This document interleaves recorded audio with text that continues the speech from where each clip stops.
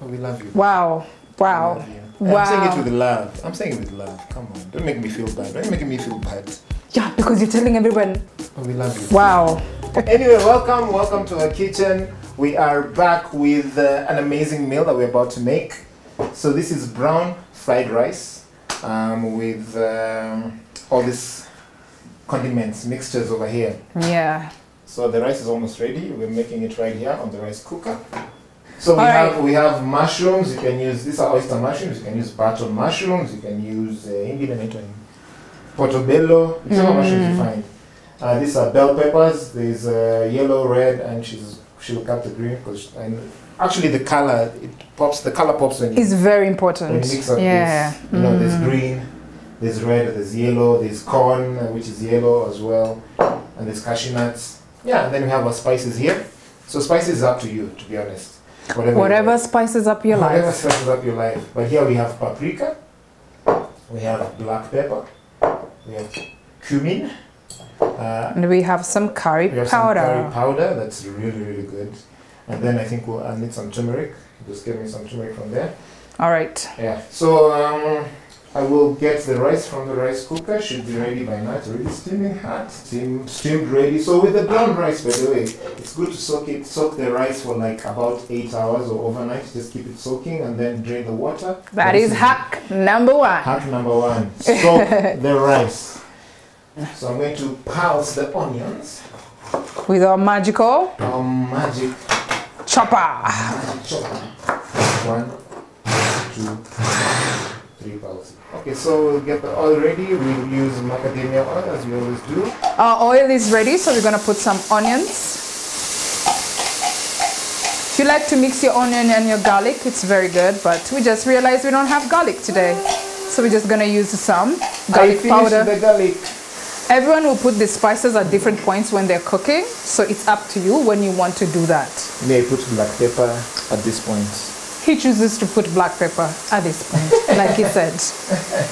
Your way is also the right way. So, um, looking at what we have here, there's a certain order that you should follow.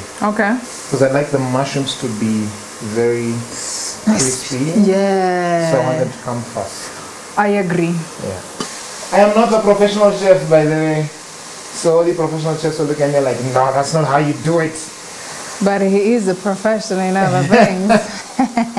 Shouldn't tell them. All right, now we add some garlic powder. And then, guess what's next? And I recommend if you can be able to roast the cashews before, yeah, so that they have that crunchy. Or even, even on your pan if you want to. yeah, even on the pan. Yeah. Depending on what kind of flavors you want to add. yeah.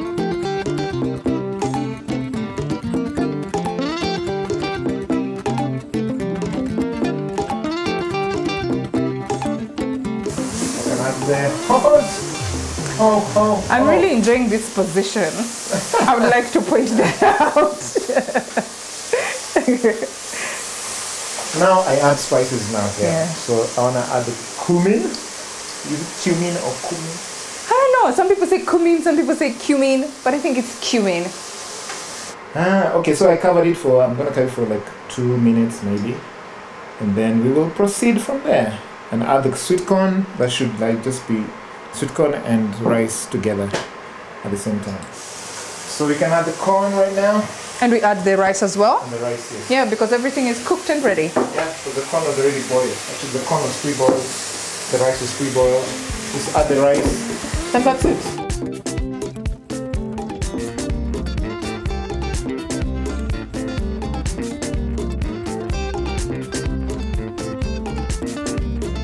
And then the turmeric for color. This is it. And paprika. You didn't put. yes. Oh, I should have put paprika before that. That's fine. And a bit of salt. And then we are going to mix this up. Look at it looks so good. It's So colorful. So remember, color on like food makes you want to eat more and more. Exactly.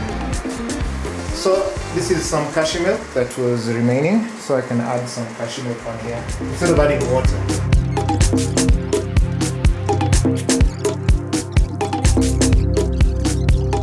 And we are about to indulge.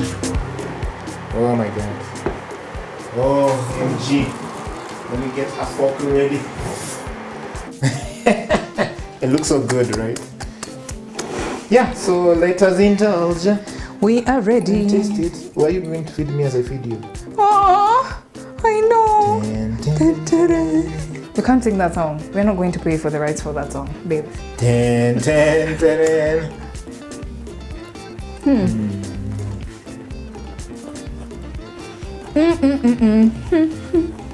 I can't Thank dance, you. now I can. You know?